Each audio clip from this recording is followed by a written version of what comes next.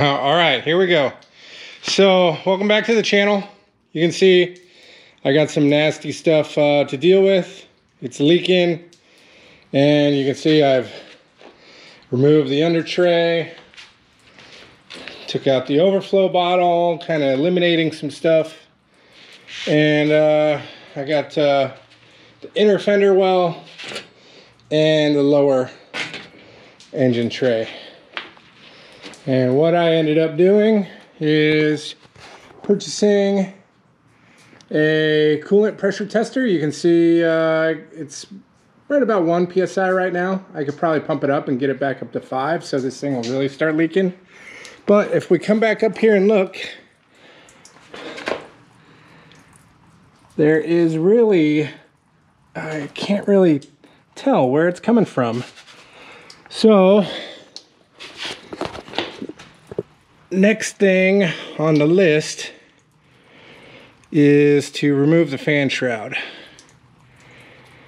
because that does not look good at all.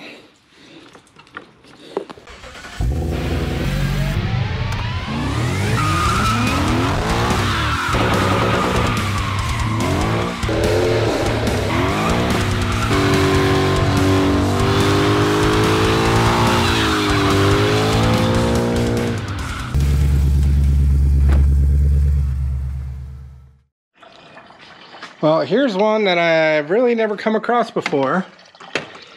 But I found my leak. If I'm quiet, you can hear it. Actually, it's pretty loud. But, watch this pulley.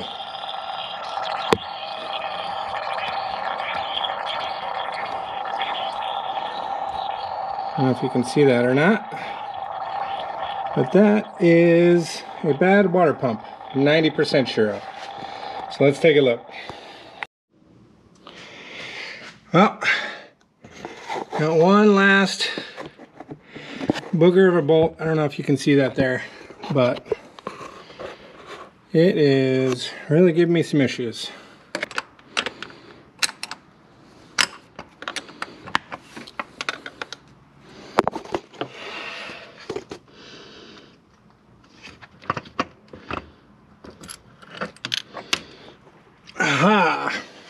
Right, it's out.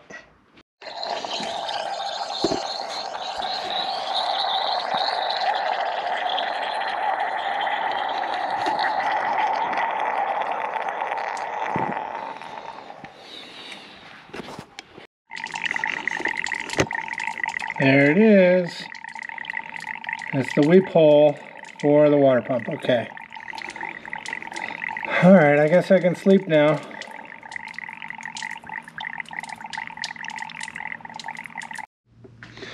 All right, so we found the leak. It's a bad water pump. All right, so we know it's a bad water pump. So I'm gonna check with the previous owner and see if he changed it back in 2017 or if he changed it when he did the last timing belt, which was just last April. So, um, yeah, coolant looked fine. Everything worked fine. Like I said, the car ran perfectly. No issues, didn't even overheat. Um, yeah. If I do the electric water pump, it'll get rid of this. Oh, you can even hear that. Oh, that thing is done. Yep, no bueno. Okay. So, anyway, long story short, new water pump. Thank goodness it wasn't one of those hoses in the back like a lot of people were telling me. Uh, well, that's one of the main reasons why, why I got this car is because supposedly he had the engine out and replaced all the hoses with all these silicone guys. So not just the ones you can see, um, he has it documented where he changed everything. Um, I did notice when I got it up in the air, I do have a nice little oil leak and I'm not sure if that's just blown out from the from the uh, oil dipstick there. Uh, I am going to get into the PCV system and kind of delete the PCV, if you will, because uh, where I'm going, there is no PCV with the AshSpec intake. So um, we will get there slowly but surely. All right. Thanks again for watching. Thanks for subscribing, uh, liking, comment, all that good stuff. Thanks for watching. Like, comment, subscribe, all that good stuff. Talk to you guys later.